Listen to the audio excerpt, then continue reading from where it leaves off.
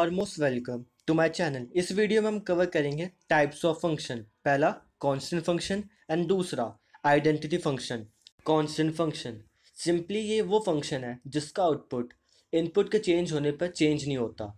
Let f x equal to c और यहाँ पे जो सी है, वो कांस्टेंट वैल्यू है और एक्स यहाँ पे इंडिपेंडेंट वेरिएबल है. हमें इस फ़ंक्शन का कर्व एक स्ट्रेट लाइन जो कि पहला है एक्स एक्सिस के, ऐसे ही क्यों अपियर हो रहा है? इसका जवाब इसके स्लोप में है।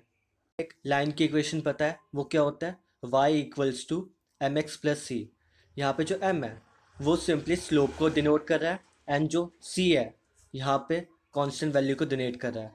एंड हमारे पास क्या गिवन है? वाई इक्वल टू सी जब हमने दोनों इक्वेशंस को कंपेयर किया तो हमारे पास एम की वैल्यू आ गई क्या? ज़ीरो एंड यहाँ से क्या हुआ? टेन थीटा की वैल्यू ज़ीरो ही, जिसकी वजह से थीटा की वैल्यू भी ज़ीरो है। तो यहाँ पे जो लाइन है वो पॉजिटिव एक्स एक्सिस के साथ कितने डिग्री बनाएगी? ज़ीरो डिग्री तो इसलिए ये एक पैरेलल है एक्स एक्सिस के. एंड यहाँ पे जो सी है, वो हमने एज्यूम कर रखे है, वो पॉजिटिव वैल्यू होगी. तो इसलिए वो एक्स एक्सिस के ऊपर आ रखा है.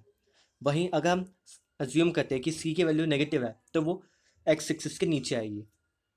अब हम डिस्कस कर लेते हैं, इस फ़ंक्शन का हम यूज़ कहाँ करते हैं? इस फ़ंक्शन का हम सिंपली यूज़ करते हैं मैपिंग करने के लिए. किसकी? फिक्स कॉस्ट एंड रेवेन्यूज़ की।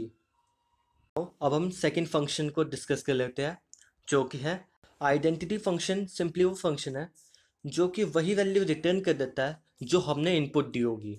और हम मैथ्स में आइडेंटिटी फ़ंक्शन को आइडेंटिटी रिलेशन, आइडेंटिटी मैप या आइडेंटिटी ट्रांसफॉर्मेशन कह सकते हैं। एंड इस फ़ंक्शन का जो कर्व होगा, वो सिंपली एक स्ट्रेट लाइन होगा और वो पास हो रहा होगा ओरिजिन से और साथ ही 45 डिग्री एंगल बनाएगा पॉजिटिव एक्स एक्सिस के साथ। इस फ़ंक्शन की जो वैल्यू होगी, वो हमेशा एक्स के बराबर होगी। अगर हम एक्स की वैल्यू वन रखेंगे तो फ़ंक्शन भी हमें वन ही देगा। ऐसी एक्स की वैल्यू टू रखेंगे तो फ़ंक्शन भी हमें दो ही देगा। ये जो पॉइंट्स है one comma one two comma two या ज़ीरो कॉमा ज़ीरो या minus one comma minus one ये सारे जो पॉइंट्स होंगे, वो सेटिस्फाई करेंगे किसको? आइडेंटिटी फ़ंक्शन को। Thank you for watching my video.